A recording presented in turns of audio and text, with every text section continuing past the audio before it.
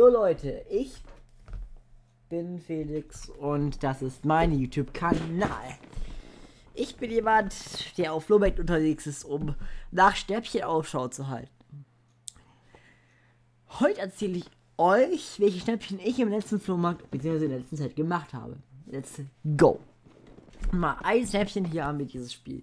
Eine Legende für alle, die ähm, Mario mögen. Mar Mario Super Mario Bro Bros. 2 für den Nintendo 3DS. Hier, wartet. Hier er, hier. Hier. Ja, coole Edition auf jeden Fall. Weiter zu empfehlen natürlich für jeden. Und ja, das kann man 20 Euro verlangen. Ich habe bezahlt, ähm, dafür habe ich 8 Euro bezahlt. So, weiter geht's.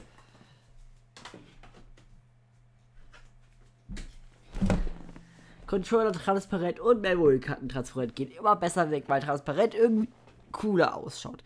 Nö, sondern weil irgendwie die Menschen früher gedacht haben, transparente Controller sind mehr wert. Deswegen. Hier die transparente Memory-Karte habe ich gekriegt für 2 Euro. Kann man verkaufen bis zu 10 Euro.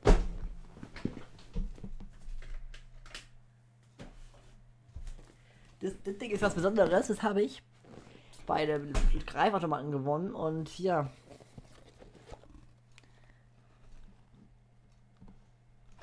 Smartwatch, mega cool. Nimmt auf jeden Fall mit. Ich habe dafür 1 Euro bezahlt. Wegen Greifautomaten.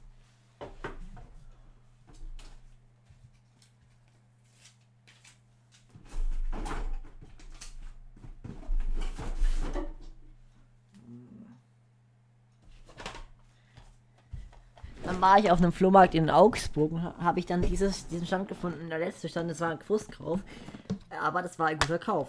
Für 5 Euro habe ich das Spiel gekriegt. Man kriegt ungefähr bis zu 15 Euro dafür. Was scheiße seht ihr, hier ist wurde raufgekitzelt. Das heißt, ich kriege noch 8 bis 7 Euro dafür. Ich habe fast keinen Gewinn. Das war ein Fehlkauf. Habe ich erst jetzt gecheckt.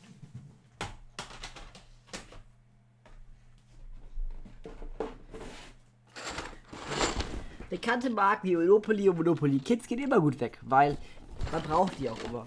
Und ja, mitgenommen werden, easy going für 2 Euro. Sag einfach nichts. Das waren auch die ganzen Funde bis jetzt, aber die Frage ist aber, konnte ich was zu meinen Funden verkaufen? Tatsächlich stimmt es wirklich. Ich hatte meine Wii-Spiele verkauft, die ich hatte, alle verkauft auf einmal für 15 Euro pro Stück plus ein Nintendo DS-Spiele plus die eine Popcorn-Maschine verkauft. Das heißt, es lohnt sich, man muss Geduld haben. Nicht am ersten Tag gleich kommt ein Kunde, der sagt, ich möchte alles kaufen. Das müsst ihr genauso wissen. Auch wenn ihr euer Geschäft einsteigt, euer Geschäft kann nicht am ersten Tag gleich 50.000 Euro erzielen. Und das war's schon wieder mit diesem Video. Ich hoffe, es hat euch gefallen. Lasst ein Like da, ein Abo da. Und wenn ihr noch mehr Tipps haben wollt zum Flohmarkt Hasseln oder auch mal vom Profi, also nicht ich, viele sagen, dass es ich bin, äh, ein paar Tricks haben wollt, dann schreibt es doch gerne in die Kommentare. Und etwas Glück könnt, ihr, dann ist er wieder dabei, wie ich wieder auf euren Kanal reagiere. Bis dahin wünsche ich euch noch eine schöne Zeit. Euer Felix Handrip.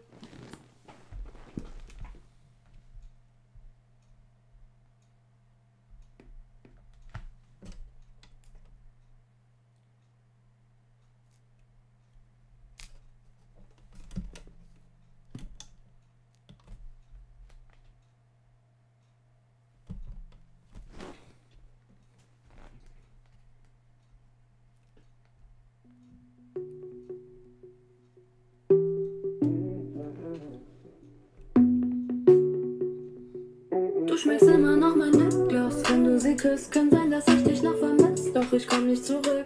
Wie ein Psychopath stehst du vor meiner Tür. Doch ich mach nicht auf, weil ich nichts für dich fühl. Du schmeckst immer noch mein Lipgloss. Wenn du sie küsst, schaust sie an, siehst mein Gesicht. Doch sie ist nicht wie ich. Ich sitze